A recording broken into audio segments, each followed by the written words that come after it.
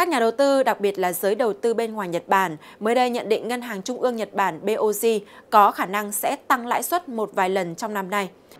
Lợi suất trái phiếu chính phủ Nhật Bản kỳ hạn 2 năm mới phát hành, vốn rất nhạy cảm với những đồn đoán về lãi suất, đã đạt mức cao nhất trong 3 tháng là 0,11% trong ngày 5 tháng 2 và duy trì quanh mức đó vào ngày 6 tháng 2. Con số này có xu hướng cao hơn kể từ giữa tháng 1 năm 2024 khi có tin đồn về việc BOJ sẽ chấm dứt lãi suất âm vào mùa xuân.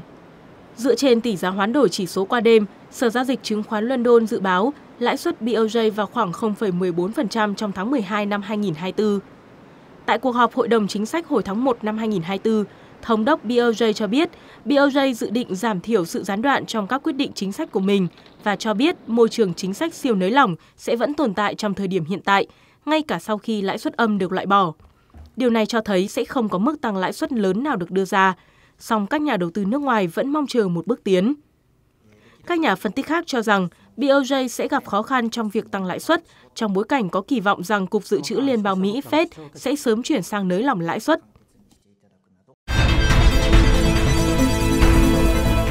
Ngày 6 tháng 2, Chủ tịch Hội đồng châu Âu đã đưa ra lời kêu gọi các nhà lập pháp Mỹ giải phóng hàng chục tỷ đô la Mỹ mà Đảng Cộng sản đang nắm giữ trong bối cảnh ông Trump đang ngày càng nổi bật trong cuộc chạy đua vào Nhà Trắng năm nay. Chủ tịch Hội đồng châu Âu kêu gọi Hạ viện Hoa Kỳ giải ngân 60 tỷ đô la Mỹ, tương đương 56 tỷ euro cần thiết để đảm bảo sự ổn định tài chính của Ukraine. Tuy nhiên, theo Viện Nghiên cứu Chiến tranh có trụ sở tại Washington, dự luật của Mỹ nếu được thông qua phần lớn sẽ thuộc về các công ty Mỹ, quân đội Mỹ và đồng minh. Tuy nhiên, lời kêu gọi của Chủ tịch Hội đồng châu Âu cũng được đưa ra sau khi Liên minh châu Âu đồng ý gói 50 tỷ euro cho Ukraine, bao gồm 33 tỷ euro cho các khoản vay và 17 tỷ euro tiền tài trợ từ ngân sách EU để cung cấp một nguồn tài chính ổn định cho Ukraine, một khoản tiền chiếm chưa đến 0,08% GDP hàng năm của EU. Chủ tịch Ủy ban châu Âu cho biết một phần số tiền sẽ được dùng để tái thiết đất nước sau khi cuộc xung đột kết thúc. Các khoản thanh toán ban đầu có thể đã bắt đầu vào tháng 3, hiện đang chờ phê duyệt các bước cuối cùng. Theo các nguồn tin, các nhà lãnh đạo EU có thể sẽ tiếp tục đưa ra cách tiếp cận mới đối với việc cung cấp viện trợ cho Kiev. Vấn đề này sẽ được EU thảo luận trong hội nghị sắp tới về cách triển khai và đánh giá hiệu quả các khoản viện trợ từ khối này cho Ukraine.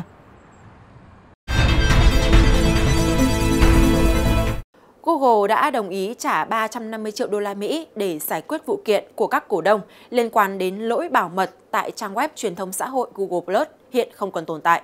Ngày 5 tháng 2, một thỏa thuận giải quyết sơ bộ đã được đệ trình tại Tòa án Liên bang San Francisco sau hơn một năm hòa giải và cần có sự chấp thuận của thẩm phán quận. Vụ kiện liên quan đến việc Google đã biết vào tháng 3 năm 2018 về một trục trặc phần mềm kéo dài 3 năm làm lộ dữ liệu cá nhân của người dùng Google Plus nhưng đã che giấu vấn đề trong nhiều tháng, trong khi công khai nhấn mạnh cam kết của mình về bảo mật dữ liệu. Các cổ đông cho biết Google lo ngại việc tiết lộ thông tin sẽ khiến công ty phải chịu sự giám sát của cơ quan quản lý và công chúng, tương tự như những gì Facebook nhận được sau khi Cambridge Analytics có trụ sở tại London thu thập dữ liệu của người dùng cho cuộc bầu cử Mỹ năm 2016.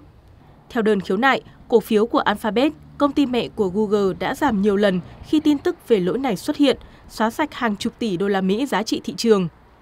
Vụ kiện do Tổng thủ quỹ tiểu bang Rhode Island thay mặt cho Quỹ hưu trí nhà nước sở hữu cổ phiếu của Alphabet đứng đầu và bao gồm các cổ đông của Alphabet từ ngày 23 tháng 4 năm 2018 đến ngày 30 tháng 4 năm 2019.